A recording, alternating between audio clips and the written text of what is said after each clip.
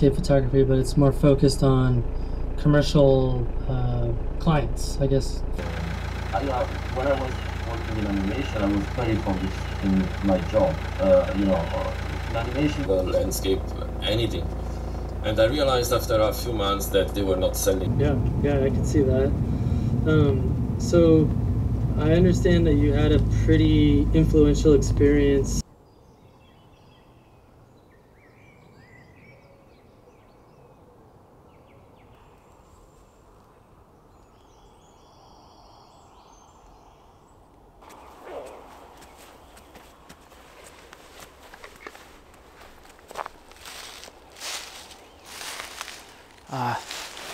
Sorry for a little bit of hustle and bustle, but panicking. I'm not panicking, but as you, you can't tell, but behind me, um, sun is rising and it's the light is creeping down the trees.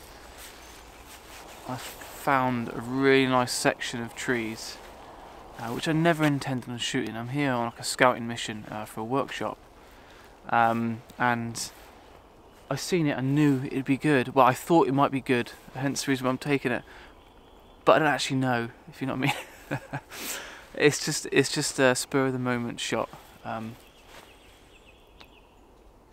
so yeah, and there's lots of hares and wildlife about at the moment. It's very frosty.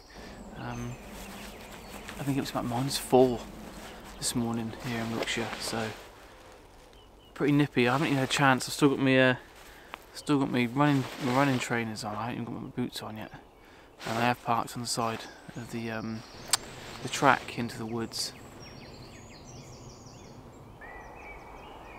Very, very peaceful.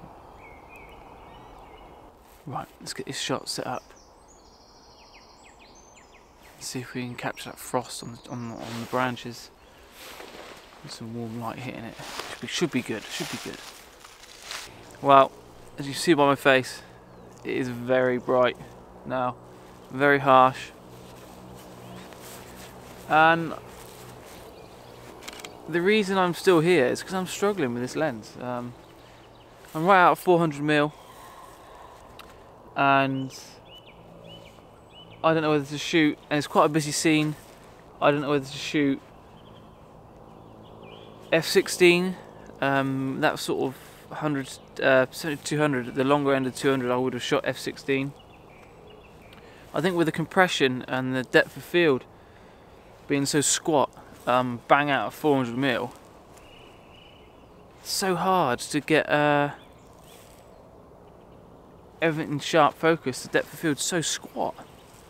Um, so I'm sort of toying. This is only the second time I've bought, bought this lens out. Um, it's only this real second time I've had a proper go at shooting at the longer end of this le lens, and if it isn't like shooting hares and things.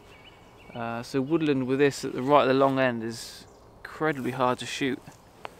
And uh, turning the, stabilization, the stabilization off and on trying a slightly higher shutter speed focus on different areas. Um, so yeah who knows whether I'll get a sharp image or an image that's acceptably sharp.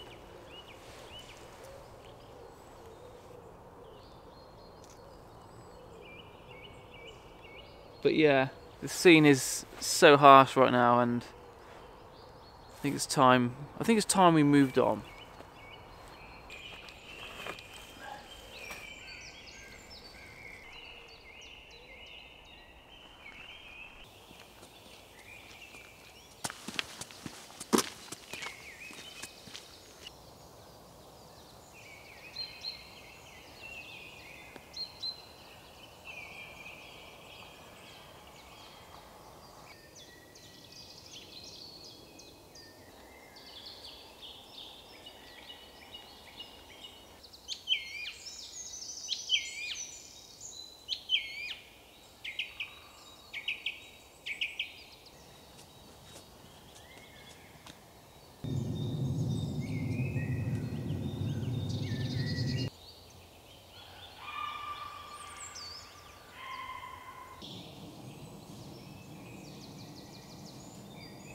I know it doesn't look like much, but this place is really, can be really special. Um, as you can see, there's lots of bluebells dotted around this pond, and it's just like it is just a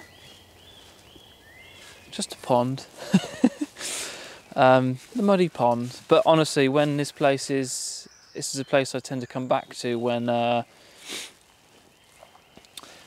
when when it's all overgrown and you get quite a lot of shelter because um, there's obviously is water. You get tend to get a bit of atmosphere.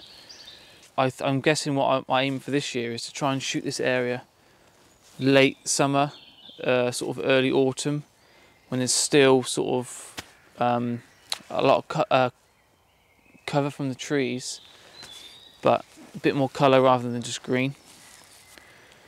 yeah, I don't know whether there might be some opportunities. Let's have a quick walk around here and just see if uh, if there is anything I can shoot, maybe more intimate with a longer lens, like we did last week.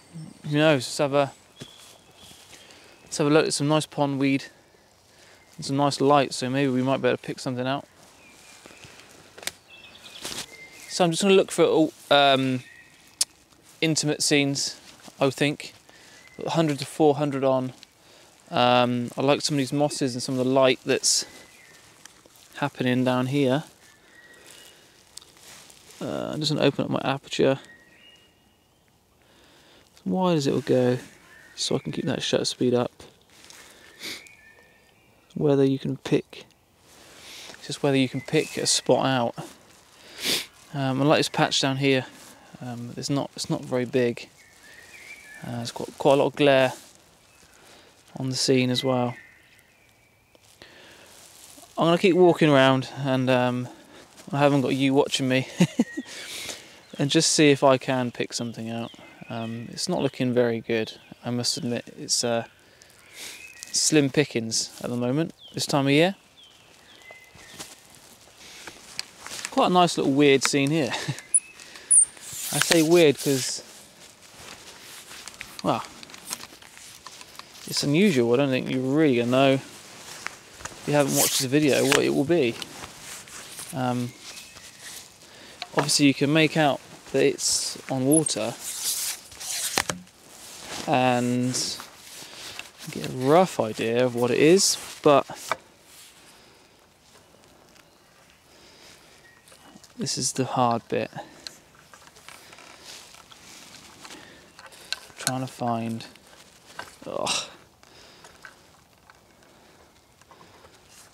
trying to find a level base in a swamp. It's gonna stink.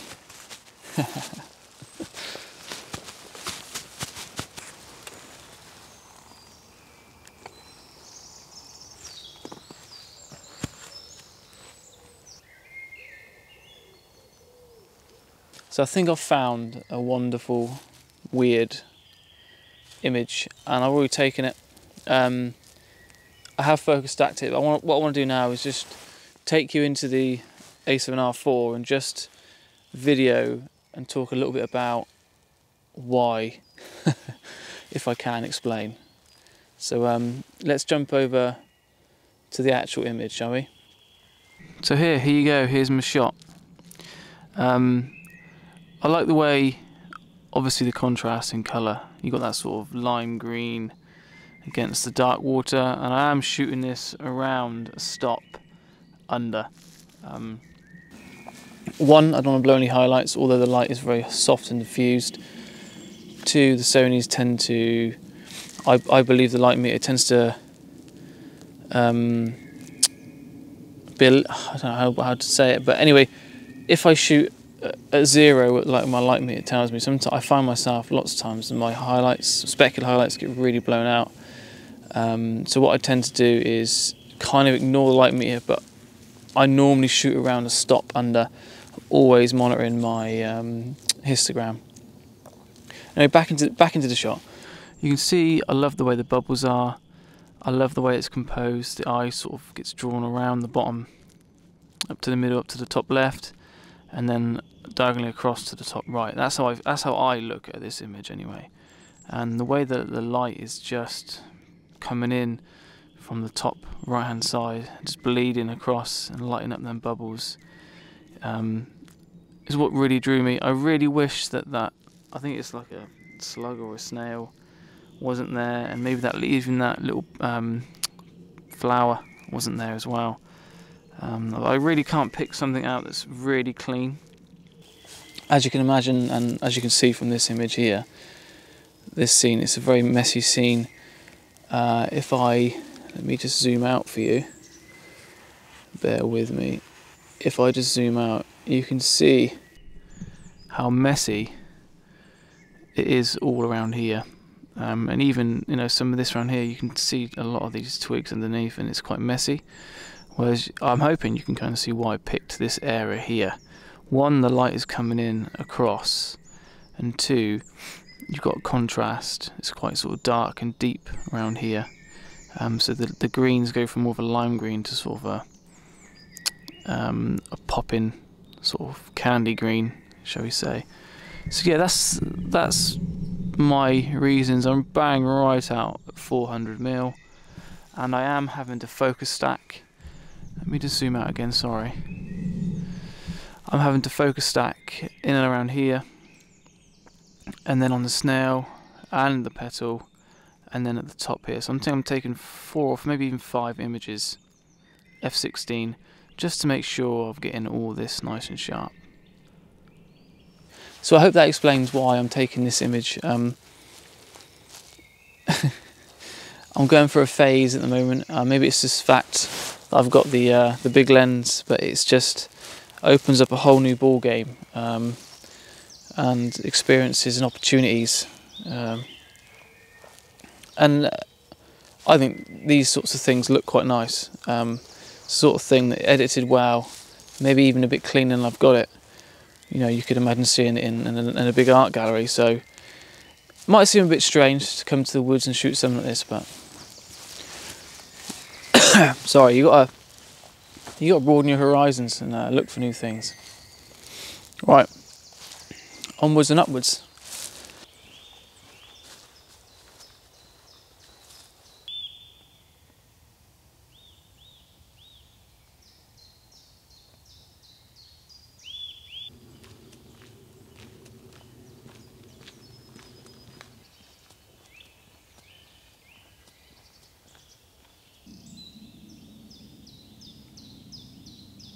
Well, we've kind of reached my main goal for this week's, this well, this morning's shoot was to scout these bluebells, and they are everywhere. Um, not it's a surprise. This woods is absolutely famous. I've spoke to photographers from Scotland, Snowdonia, in the south of UK, back down in Cornwall, um, and I've got a couple of clients that are interested in doing bluebell work, and this is a good, this is the best place in my opinion, uh, for, for hundreds of miles um, and it will be absolutely rammed. So it's important to do scouting. It's important to. I tend to stick away. Um, I'm a Nature First ambassador uh, here in the UK, so I will not be walking on them. Um, you know, because we all know reasons why. Uh, so it has to be done properly. Uh, I do believe you can do workshops in areas on the bluebows. You just have to. You just be mindful um, and think long term. You know, this is every year. We want this to come back. So. So yeah, bluebells. I'm scouting for bluebells. Um, the daffodils are out, which is really nice. Um, maybe it's like past their best. Them one's over there, but uh, that is still nice to see. And the wildflowers are all out as well. So uh, spring is definitely here. 100% it is here and it is coming. Um, other than the frosty mornings still, we wouldn't really know. We're in winter here in Wiltshire. Um, so yeah, I hope you enjoyed my images. Um, I will show obviously the uh, the green slime shot from the pond. I think that will turn out quite well, actually. I do. I have faith. Fingers crossed, I've got faith. Um, and I will show a little slideshow of some of my best images from this bluebell woods, um, just so you can get a gist of what this woods looks like uh, when the bluebells are at their best.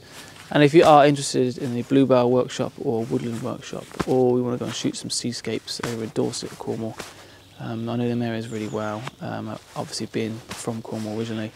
Uh, so yeah, head over to my website, I'll put a link up here and down below and uh, you better get all the details for a workshop with this one maximum of three people.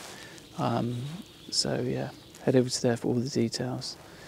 Right, Um, before I, before we do go, I just want to talk a little bit about gear. People were going, "Oh no," or they've just left. But I want to talk about these just quickly.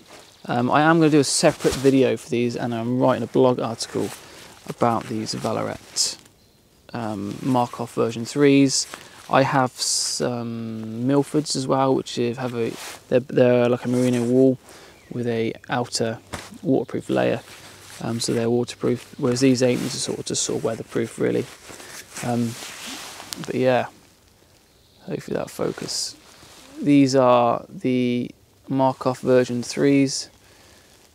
They're really smart, and I am going to do, like I said, a blog, so there will be some details about these. But I've found that from frosty mornings, they're just absolutely perfect. Um, the Milfords are nice as well because the merino wool. If it's not windy, then the Milfords are really good. But I find these amazing, and you can see here. Uh, if it will focus, please focus. Yes, uh, you can see that the finger and um, the forefinger and thumb are out.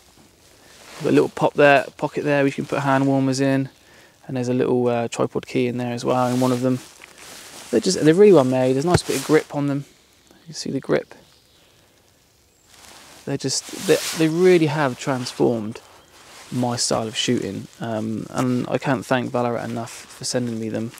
Um, and I also have a pair of hatchets as well, which are for really sort of slightly harsher conditions.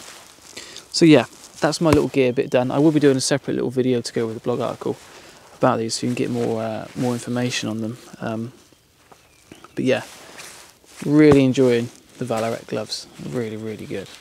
Right, I am going to shoot off, get some breakfast, and I will see you next week. Enjoy the slideshow of the blue boughs and the green slime shot. Ciao, bye for now.